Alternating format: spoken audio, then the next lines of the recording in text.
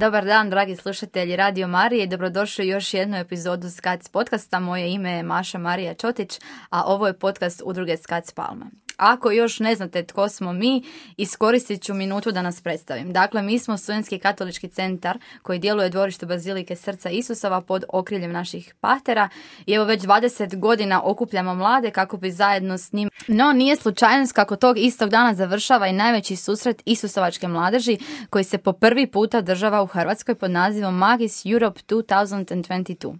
Upravo ovaj hvale vredan projekt današnja je tema našega podcasta, a s nama su u gostima dvije ljubke dame, Petra Borošak i Marija Selak, koordinatorice koje će nam predstaviti što nas to čeka ovoga ljeta i kako su tekle pripreme. Pa, drage moje žene, dobrodošle.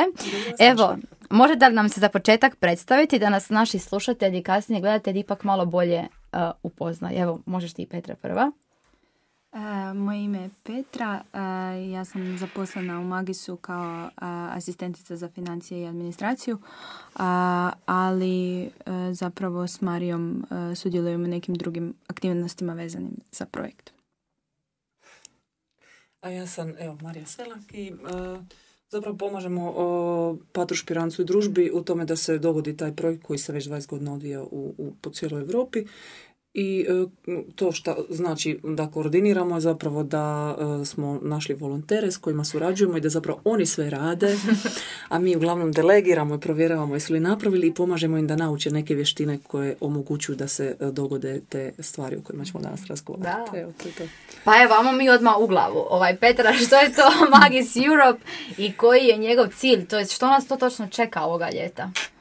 E, pa, Magis je međunarodni projekt e, koji zapravo se održava još od 2005. godine i svake godine je druga zemlja domaćin. E, na svjetskoj razini on se veže uz Svjetski dan mladih, ali između toga prepoznali su da to nije dakle da bi to moglo se svake godine i onda se preselilo i na europsku razinu gdje onda uh, družba Isusova sa svojim suradnicima organizira ovaj projekt. I ove godine Hrvatska ima čast biti domaćin.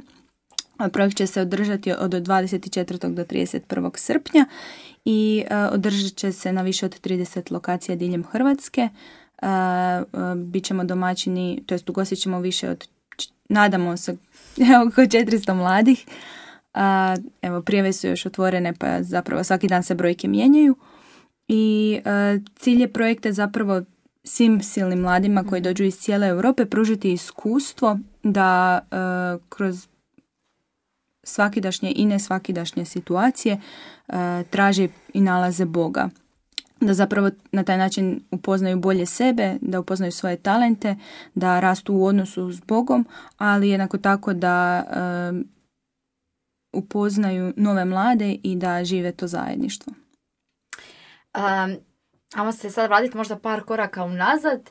U imenu Magis Europe nalazi se riječ Magis. A ako su nas slušatelji pomno pratili, da bi trebali znati kako Magis je dio Isusovačke duhovnosti i da ona pripada Isusovačkom uh, vokabularu. Marija, možeš ti nam objasniti što točno znači riječ uh, Magis i koju ona ulogu ima evo, u ovom projektu? Pa evo, latinska riječ, koristio je i sami Ignacije mm i koristio je najviše da uh, pozove duše oko sebe i da izrazi svoje vlastito nastojanje, da ide u svakom svom izboru više Bogu, bliže Bogu i da sve što čini, čini nekako da bi se da bi išao više Bogu mm. i bliže Bogu. Toga nekakav doslovan prijevod bi bilo potpunije, cjelovitije, svrhovitije, više, uh, i teško je to ono dočarati mhm. do kraja. Uh, uglavnom se odnosilo na neke i velike životne izbore, ali i na ove jednostavne životne izbore i danas baš vidimo, pogotovo u današnje vrijeme kad za izabrati jogurt u trgovini trebaš napraviti 20 mini izbora kakav ćeš, ovaj, koliko je važno zapravo znati razlučivati. Tako da mhm. taj, poziv, taj pojam sam je vezan uz razlučivanje što je glavna karizma družbe Isusove, dakle mm. donošenje izbora u suradnji s Bogom i odabirući ono što zapravo Bog za nas želi, a to je sigurno najbolje. Znači ići prema nekoj svrsi. To bi ukratko. Dakle, mladi ovoga ljeta biraju magis, biraći, bivajući biti na magisu. Europe će ih dočekati Pa evo, znači... Prilika da susretnu to, jel? Evo, recimo, ja baš rekao kao cilj Isusovaca, zapravo oni su primijetili to 2005. kad su organizirali uh, dva tjedna uoči samog svjetskog dana mladih, uh, kad su se vratili u svoje lokalne sredine, kak je sa svakom grupicom mladih neki Isusovac došao, primijetili su promjene na njima i primijetili su da zapravo mm, je taj, to bivanje zajedno, dva tjedna, pa onda i susret sa svim ostalima mladima na svjetskom danu mladih, donio nekakav uh, plod, jel? I onda su zaključili, pa dobro, idemo mi to zapravo organizirati svake godine i uh, vidjeli su nekako da to njih uh, vodi više Bogu. I onda su to organizirali u skladu sa svom vlastitom formacijom, onako kako formiraju zapravo novake u novicijatu kroz dvije godine, a to je da uh, kroz određenih pet područja o kojima su slušatelji koji vas redovito slušaju već slušali, vjerujem. Slušam vas pa znam. E, dakle, u takozvanim eksperimentima, tako da zapravo i ove godine svi naši eksperimenti su u tih pet osnovnih kategorija, dakle duhovne vježbe, zatim dijela služenja, dijela e, e, umjetnost, društvo i kultura i Hodočašća? Hodočašća, tako je. Ali zapravo i sam karakter tih eksperimenata je imao veze svakako sa načinom koji Ignacije živio i ono što je unosilo promjene u njegov život. I zapravo i je neka, bar meni osobno, ljepota isovačke duhovnosti, baš taj njihov slogan tražiti nalaziti Boga u svemu, mhm. gdje zapravo se ne odvaja molitveni život od stvarnog života i gdje se zapravo duhovne vježbe kao takve, kad mhm. prođeš, na neki način e, testiraju u stvarnosti. I e, zapravo to je bila zamisla u novicijatu. Kroz prvu godinu je više taj molitveni dio, mhm. duhovne vježbe u šutnji prođu novaci, a onda kroz eksperimente se gleda što su oni zaista od tih uh, svojih doživljaja iskustava Božje prisutnosti oživotvorili u stvarnosti, tako da služe od staračkih domova bolnica i Samo što smo slušali kod, kod Tomislava. E, kod Tomislava, tako da ja taj dio ne bi dočaravala previše, ali nekako to kušanje. I onda zato smo se i odlučili na slogan. Zapravo slogana se i sjetio jedan Novak. E, dok smo još testiravali eksperimente, gledali kud bi išli i kako i dogovarali suradnje. Evo, nažalost, ta suradnja sa Nacionalnim parkom Krka nam je ove mhm. godine propala, nadamo se nekad u buduće ju imat.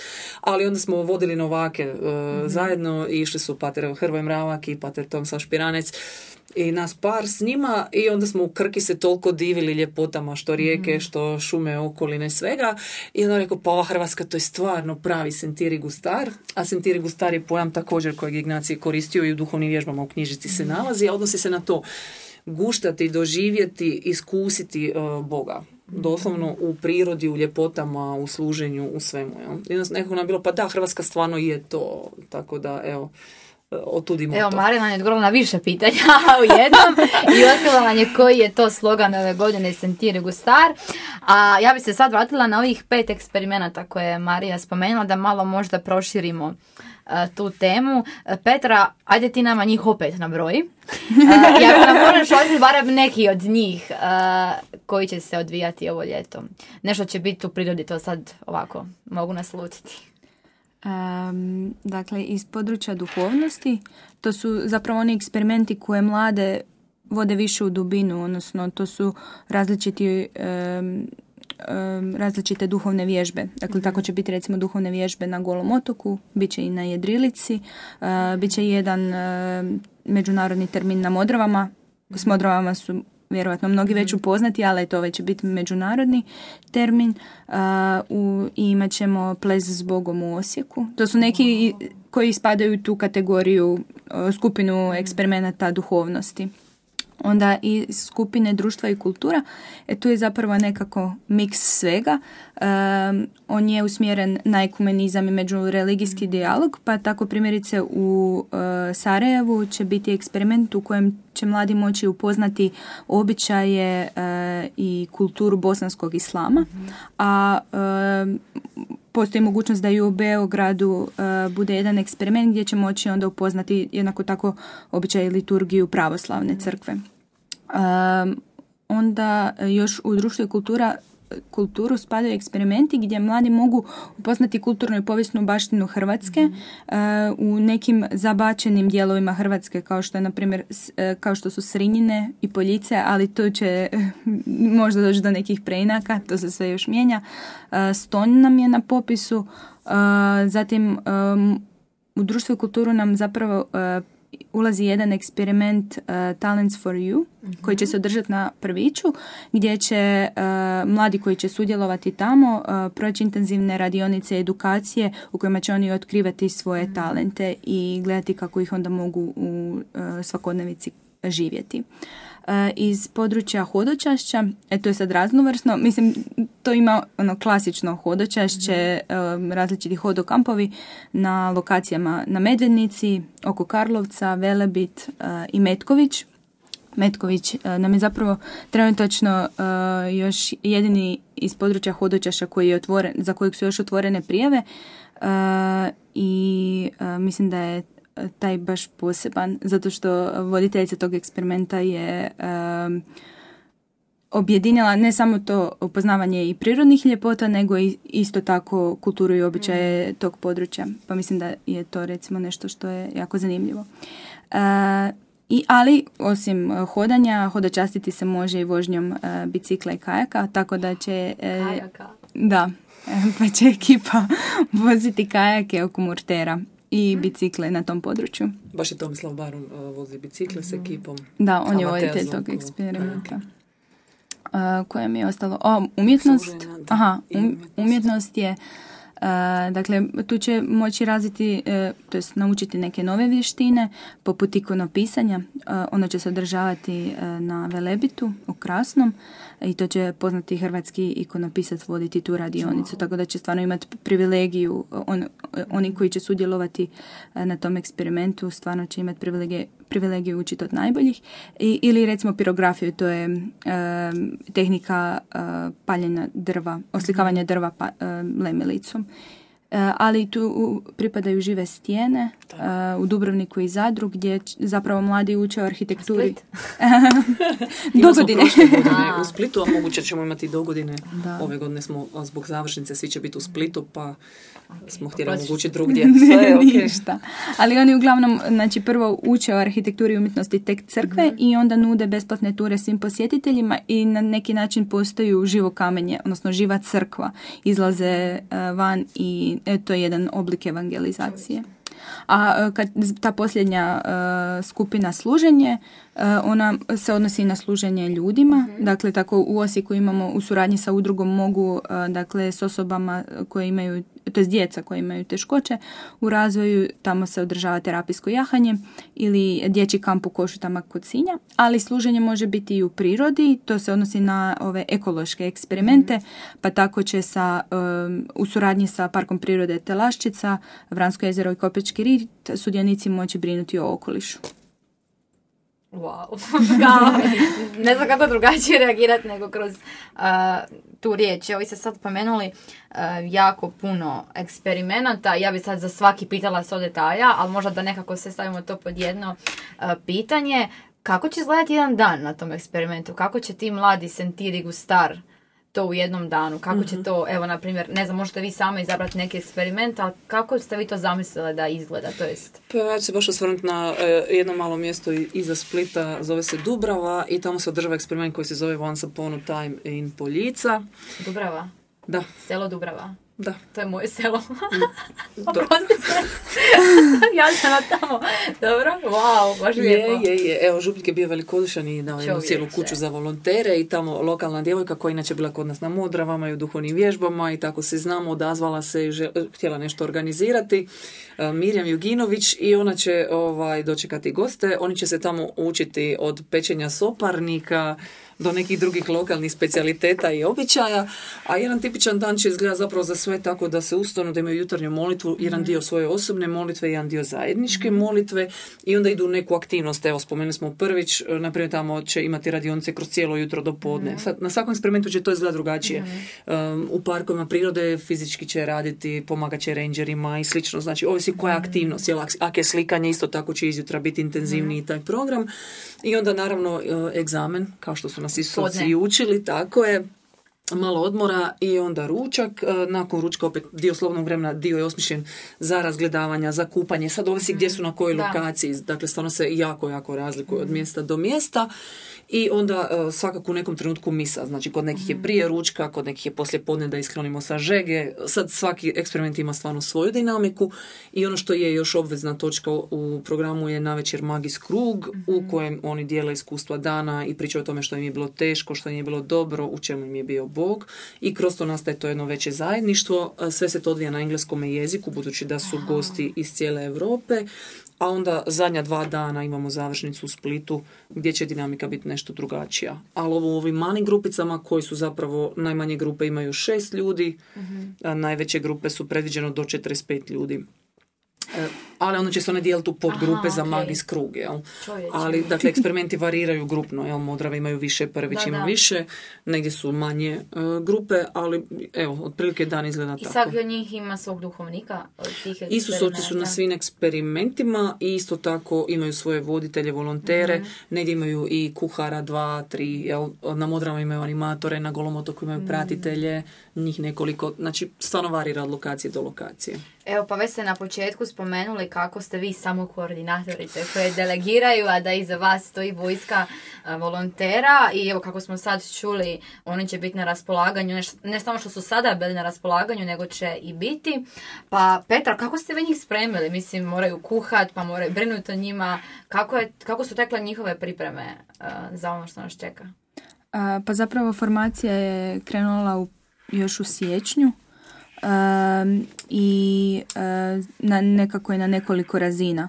Um, prvenstveno na jednoj duhovnoj razini gdje smo mi htjeli uh, s njima proći, uh, to jest uvesti ih više u Isusovačku duhovnost. Uh, pa su tako zapravo mi smo iz mjeseca u mjesec, dakle jednomjesečno imali smo formativni susret na koje, koji je izgledao otprilike tako da prvo bismo rekli neke uh, osnovne obavijesti čisto za taj mjesec i podijelim zadatke što ih čeka u sljedećem mjesecu, ali onda bi uh, Pater Špiranec držao nagovor uh, na jednu od tema uh, svetog koja je povezana sa Svetim Ignacijem, pa tako smo imali različite teme poput Agere Contra, uh, Cura Personalis, koliko toliko, Ad Majoram Dei Gloria.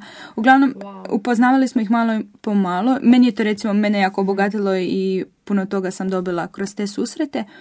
I onda bismo jednako tako malo podijelili o tome. To je, tako izgledaju e, susreti iz mjeseca u mjesec a, i onda se njima zapravo otvarala su im se neka pitanja ovako na osobnoj razini i zbog toga je tu uvijek na raspolaganju bila i Marija, ali i pateri za duhovne razgovore.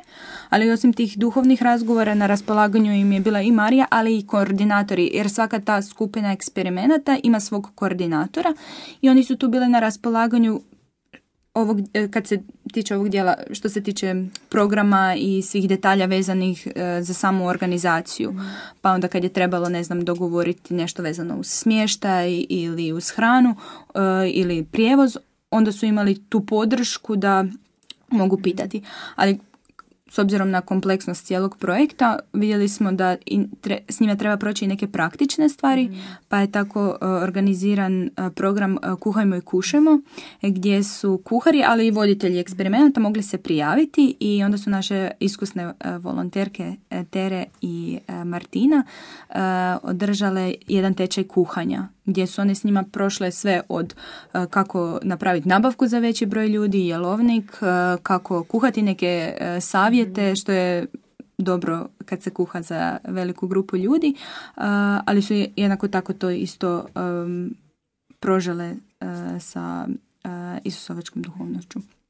I imali smo još i tečaj prve pomoći, čisto da oni budu spremni za e, bilo koju situaciju e, koja se možda može dogoditi na eksperimentu. I bila je edukacija o financijama gdje smo mi njima htjeli zapravo pomoći da e, planiraju troškove za svoj eksperiment, malo ih upoznati sa time, e, da uopće e, se upoznaju s time da im to nije toliko strano i da onda budu spremni i na ljeto da kad trebaju um, otići u kupovinu, jer mislim to ovo je ipak projektno pa z- taj jedan formalni dio trebamo ispuniti čisto da tu budu sigurniji da se ne moraju time opterećivati na ljeto. Pa ja mogu samo reći da ste vi njima dali veliku slobodu i da u smislu kao dopustili ste im da bude tako blizu uh, organiziranju tog uh, kao projekta i da ste ih educirali na način da su sigurno kada su prošli neku mini informaciju sad ovih šest mjeseci. Zapravo nama, nama stav bio da uh, vrijednost ovog projekta nam najviše leži u tom da, se, da ugradimo nešto u mlade u Hrvatskoj i u naše volontere i cilj svrha nekako je bila to da ih osnažimo i neko držimo da mladi ljudi zapravo rastu u odgovornosti i u svojim sposobnostima na način da im mi damo povjerenje. Uh, tada smo se s te strane usudili dati povjerenje i uh, ono što smo napravili zapravo zajednički sa Skac Palmom, sa Skac Osijekom, sa Skac Splitom je taj otvoreni javni poziv kroz 10. 11. mjesec. Nešto je bilo online, nešto je bilo uživo, kako je ko mogao doći. Nismo htjeli uh, diskriminirati ljude koji možda nisu u prilici biti u Zagrebu, Osijeku, Splitu. Tada smo imali i online poziv. Tu smo predstavili otprilike projekti šta bi otprilike htjeli i koje lokacije su nam ponudile smještaj i on, otprilike neke uvjete, ali dobar dio njih je zapravo preuzeo inicijativu i izmijenio karakter eksperimenata i to je bilo nešto meni osobno baš prelijepo gledati koliko su proaktivni, koliko imaju svoje nekakve zamisli i evo baš sam nedavno se jako, jako isto oduševila sa lokacijom Stona gdje je naša Anita Krmek koja je već iskusni magisov volonter i ona je vidjela puno već hodokampova pa je to vjerojatno i dio razloga, ali maštovita je sama od sebe. Ovaj, dole u Stonu osim ono što smo mi predložili, ne znam, da se posjeti Solana ili da se napravi hod po zidinama. Ona je osmislila program točka linija kružnica gdje ona kroz nekakve obrise i prostornu orijentaciju još njima predstavlja običaj Mediterana i tako. Tako su stvarno bili jako maštoviti u izradi programa, a, a mi smo htjeli s ovim svim radionicama nekako njima omogućiti e, da se osjećaju sigurni kao domaćini i oni zajedno u tim svim našim formativnim susretima svaki mjesec su na engleskom jeziku dijelili iskustva i htjeli smo nekako da se oslobode pričati jer nekima je to bila prepreka i bilo mi je baš zanimljivo sad recimo na zadnjem susretu gledati da više u nijednoj grupi nije bio problem. Joj, mogu li ja preskočiti, mogu li ja na hrvatskome, zaista su se i oslobodili, a držimo nekako da će oni sad iz primjera animatora koji su oni u grupama imali ili iz njihovog vlastitog dijeljenja nekako s većom slobodom dočekat uh, te naše inozemne goste i nekako uh, biti pravi istinski ono Hrvati ljubazni koji dočekuju ljude i to je to. A ko nama to sve dolazi onda? Joj, e, stvarno je šarolika je? ekipa, je.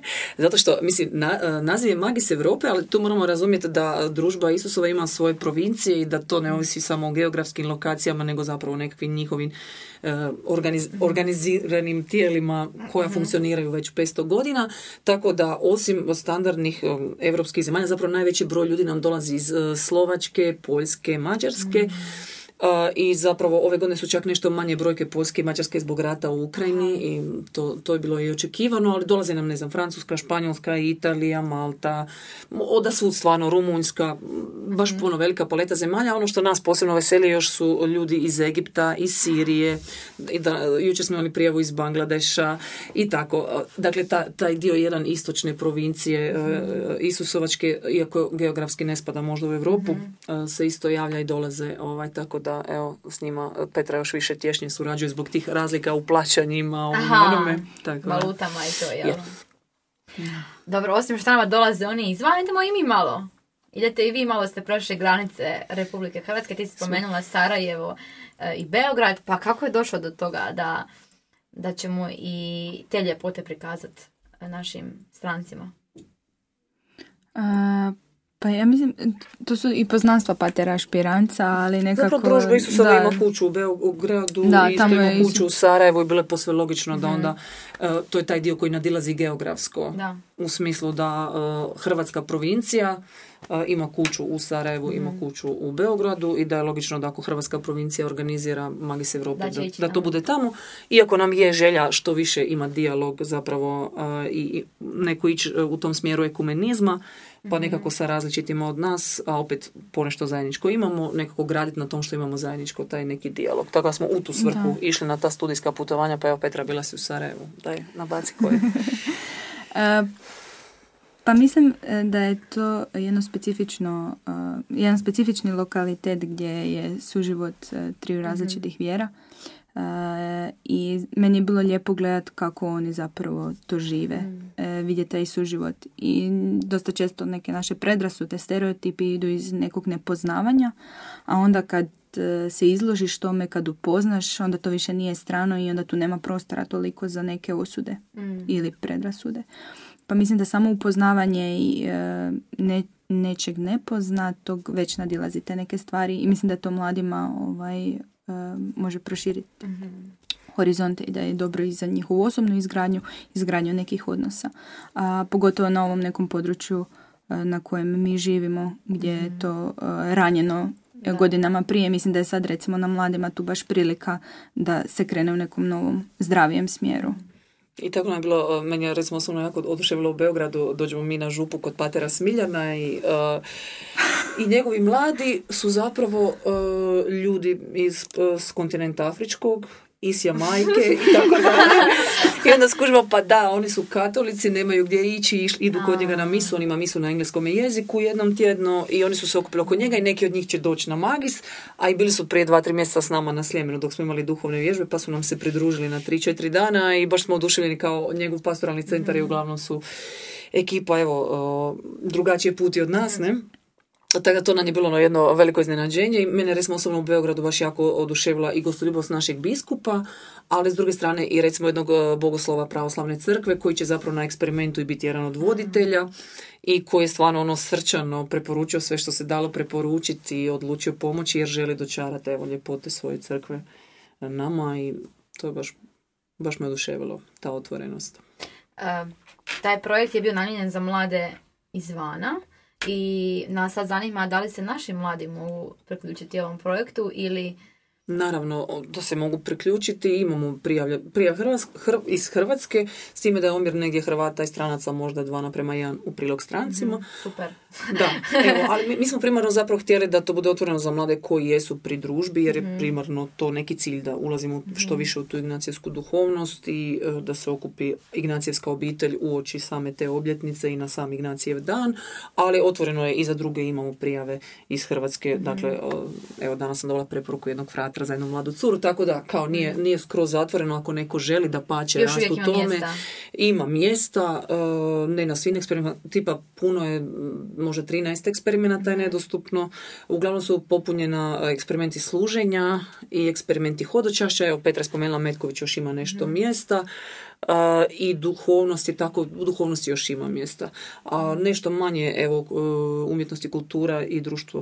Mhm. Ali i to se može na vašoj stranici e, pronaći? Da, i na više stranica. I u Skacu Palma se može pronaći na stranici i od udruge Magis kao takve, mm a i na ovoj evropskoj web Magis Jesuits EU. mm Već ste bile spomenule, ali i ja sam na početku rekla da je završnica 31. srpnja i završnica je u Splitu. Pa kako to da je to u Splitu i šta nas to u Splitu čeka? Vidim, Maša je oduševljena.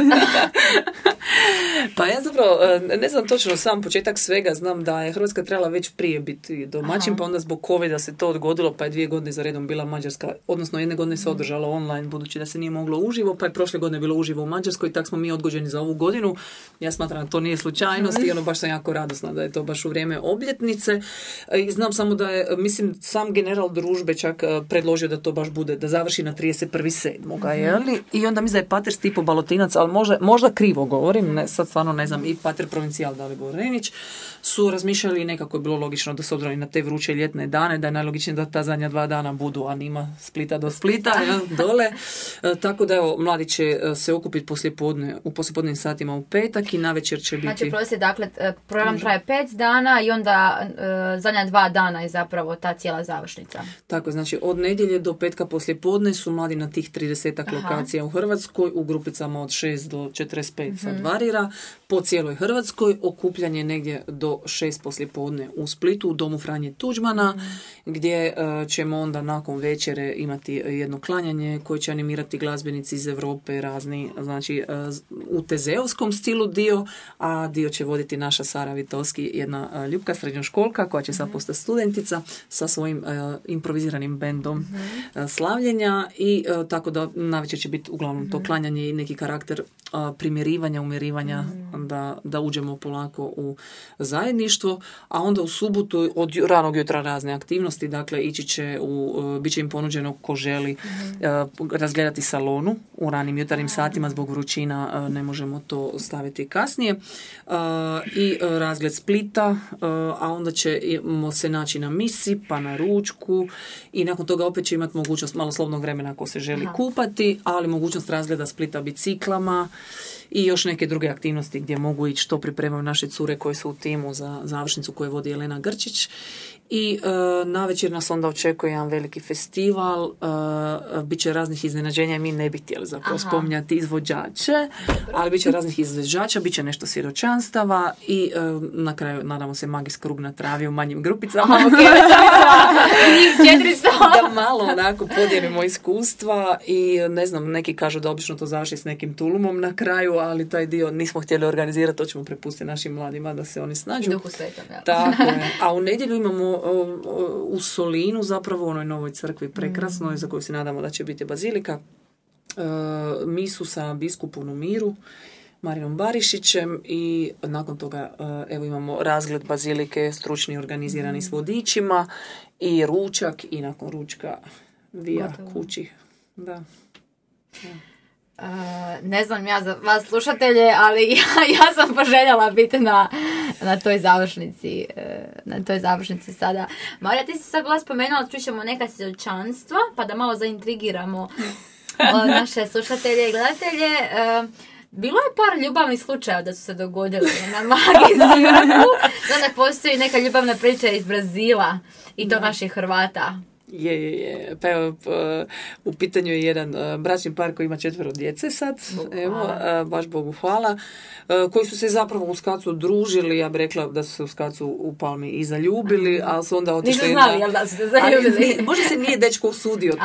toliko. Onda kad su izašli konačno iz ureda Okvira Hrvatske. iz okvira Hrvatske negdje drugdje e, ju je jamio i, ovaj, i priče se i dan danas pričaju o tome. Tako da e, ne bih htjela otkriti previše detalja. Evo. Može, Nek može. nešto bude iznenađenje. Slažem se. Uh, ja, ja- drugo što mi je prošlo kroz glavu je bilo sad, ja ne znam je li Hrvatska turistička zajednica zna što vi činite. Zna, Zna. zna, zna. Mi smo od početka, uopće dok je to bilo u planu je Pater Špiranec, obilazio lokalitete, razgovarao sa ljudima i e, bio je u turističkim zajednicama i e, oni su oduševljeni. Jer Je, e, baš su, baš su oduševljeni. S, druge strane su i snažno sugerirali, bilo bi super da je tako nešto u svibnju ili u, u rujnu, jer i mi imamo puno aktivnosti Da. i to je, Bogu hvala, tako. Hrvatska je preljepa, ima što ponuditi. Ja. ne, dok sam slušala baš sam se pomislila, pa čovječe nisam čula da postoji i jedan projekt koji mladima nudi ono, da uopće vide sve to šta. Evo, pokazat ćemo onima koji će nas gledat e, š- našu lijepu i sve što će neko drugi vidjet. E, Tada, a, znači, baš, evo, e, wow, što ja mogu reći, koliko sam puta rekla wow u ovom podcastu, samo govori o mom oduševljenju vama i što vam se sprema. Mene sad možda zanima, evo, nešto ste rekli na tragu toga, da ste vi isto puno toga dobile u ovom e, projektu i puno ste radile, ja znam koliko ste vas dvije radile, a možete li izdvojiti bar jednu stvar evo, koja trenutno vama stoji onako na srcu i zbog čega ste zahvalni, što ste baš odabrali raditi Magis? Meni se čini da ga nisam ja odabrala, nego da to nekako odabralo mene. Ovaj, e, pa zapravo iz dana u dan raste zahvalnost e, da sam ovdje, pogotovo kad, postan- kad si posvjestim koliko je stvar velika. Mi- Nisam zapravo ja do kraja ni svjesna koliko je velika, ni ne znam u kojem trenutku ću to shvatiti, ali eto, dobro mi je biti mali dio toga. A, I ono što je meni na srcu, ono što si Marija i ja ponavljamo zapravo svaki dan, više puta su popečci, a to nama nešto znači. Bili smo e, u duhovnim vježbama i tu je bila viška riže od prijašnjeg ručka i mi smo to pokušale spasiti i onda se to sve raspadalo i mi smo ono, kad se krene sve raspadat kao bit će samo ovi popečci jer na kraju je dobro ispalo. Pa je nama zapravo nekako, mislim, ovo je em, složeno, puno je toga i e, zapravo Bog stvarno to sve vodi, mi se na dnevnoj bazi tisuću puta uvjerimo kako on slaže ovu veliku slagalicu. Um, I onda bude različitih i izazova i teškoća, ali nekako ono što je meni naj, najsnažnije u tome svemu je zajedništvo ko, koje živimo, uh, uh, baš pogotovo u tim našim uredima zajedno sa ekipom iz uh, Skaca uh, i to bez obzira kao što radimo, zajedno smo u tome i nekako to je ono što je meni uh, najvrijednije kroz ovo. I svi oni zapravo um, procesi i to jest taj rast koji se događa ne samo među nama i u nama, nego i konkretno mislim i na sve volontere, jer e, kroz ovu, tih šest mjeseci što su prolazili formaciju, stvarno se vidi e, koliko su oni u svemu tome rasli. A, stvarno mi je teško ovo pitanje i ovaj, ono što mi je lijepo je da stvarno svaki dan, nema dana da nas da ne zahvalimo Bogu, pa ako je dan kad se ne vidimo, onda si nešto napišemo. Mhm.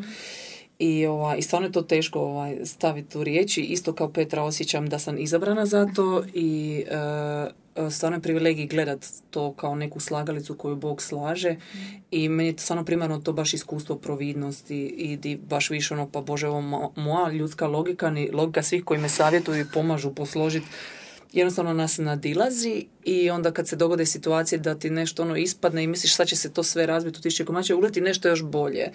Ili drugačije, rasterećenije, jednostavnije rješenje za, za bilo kakav problem od banalnog, ono, otkažu ti lokaciju zadnji čas i onda dogovoriš s volonterima da ćeš ih prebaciti negdje drugdje ili volonter otkaže vođenje nečega u čemu je stručan, jer mora, jer su mu mhm. životne okolnosti takve i onda skužiš da možeš tu smjestiti grupu koja je imala vrlo lošu kuću, prljavu vodu, pa smještaš na neko puno bolje mjesto i tako da svi, svaki dan kao da gledam tu neku slagalicu, još ona poprima svoje neke sad finalne obrise, mm iako još nisu finalni, bit će nam jasnije možda oko 26. dok mhm. prijave završe, pa sve to skupa, cijeli taj proces ali recimo to oslanjanje na providnost gdje sam isto vidjela koliko se stvarno mogu osloniti, mislim sto je volontera tu mm.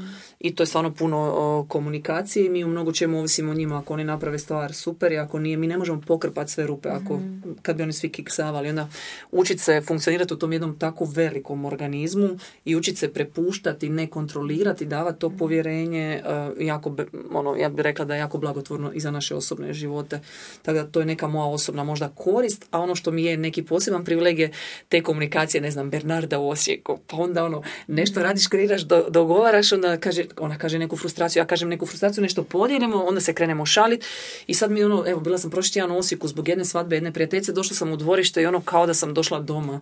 I ono toliko ono zagrljaja, osmiha toliko ljudi s kojima si eto prošlo sito i rešeto, kako kažu naši, šito i rešeto. Ali ono kao e, taj neki osjećaj, kao da smo već prošli neku bitku skupa, još se sam program nije dogodio. Onda me baš posebno diralo, jučer smo imali nekakav susret veliki kroz dan gdje smo revidirali sve što smo radili, mhm. sve za unaprijed i onda nam je Pater rekao da se čak magis ne dogodi iz nekoga razloga. Ovo sve što smo prošli ovih mjeseci je već vrijedilo sveg tog truda i mi ono smo istog tog duha i on baš nam je to značilo. Evo. Pa baš evo dok se sad to svjedočile, baš zvuči kao jedan sentirik u star kroz godinu dana mm. gospodina i učenja njega, njegovog načina. Jel? U slučaju da netko možda ne može sudjelovati, jer evo imamo neke starije slušatelje, gledatelje, oni ne mogu, postoji li način na koji se vam može pomoći? Osim molitvom, naravno. pa ja sam baš htjela reći kao da nam je molitva stvarno najvažnija. Aha. E, naravno da postoji mogućnost, e, ne znam, financijske donacije, mhm. materijalne donacije ili jednostavno preporuke nekog kontakta kojeg mm. imaju. A isto tako možda ima neko među slušateljima koji ima neke svoje posebne vještine, bilo na, u području umjetnosti, bilo, bilo čega drugoga, e, nemam pojma u promociji, pisanju, fotkanju i slično, gdje tu nam isto jako dobro dođu ljudi koji možda su iznad 35. Imamo nekoliko takvih u našem projektu i recimo jedna mlada dama zove se Anika koja je nama sad toliko toga napravila u ma- području marketinga recimo i biranja tih obilježja majica, kapa, mm. boca koji će sudionici dobiti. mi da smo morali tražiti sve te ponude pa izgubili bi puno vremena. Tako da ovaj, evo, stvarno nam znači ono, pomoći u tom da daruju svoje vrijeme u nekom segmentu u kojem to može biti. Evo. Odluči se, pa napravi što sad, rezat ćemo. imamo, imamo neko, e, nekog uljeza na njem, neko nešto baci, to je jedna od majica koje ćete dijeliti u bijeloj boji i bit će e, u crvenoj će biti za volontere, zato što će u Splitu treba biti prepoznatljivi da ih se može pitati kud što kako, ali zapravo globalno bit će bijelo jer za ljetno vrijeme... To I kapice će imati, ili tako? Kapi će biti u raznim bojama, ali tako više, ni ne znam detalje, Petra je to ovaj, sa stručnim timom grafičara odlučila. I evo za kraj, u slučaju da imamo nekog neodlučnog slušatelja i slušateljicu i fali mu motivacije, a bio je na nekom od uh, isusovačkih uh, eksperimenata do sada, uh, Petra, možeš nam jednu rečenici reći zašto bi bilo važno da on ove godine ne propusti magis? Ako ga nešto vuče, ali ono možda ga je malo strah i tako. Mm, dobro je kad te gospodin iznenadi. Mhm. Ja sam se vjerala više puta u to, pa evo, samo pozivam em, da se ohrabre i da jednostavno budu iznenađeni.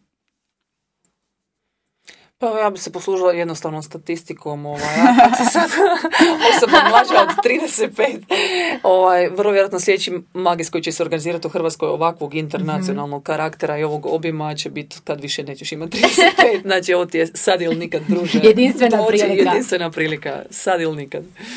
Evo, e, jako vam hvala moje drage dame. Dragi slušatelji, došli smo do samoga e, kraja. Zahvaljujem se na slušanju. Zahvaljujem se našoj Radio Mariji koja nam je omogućila da širimo naš glas putem njihovih e, radio valova. E, Više o Magisu možete potražiti na njihovoj web stranici, na društvenim mrežama i na stranicama Skac Palme. Ako vas još zanimaju naši projekti iz Skaca Palme, možete ih pronaći također na www.skac.hr ili na našim društvenim mrežama. I do sljedećeg slušanja i gledanja, neka sve što radite bude na veću slavu Božju.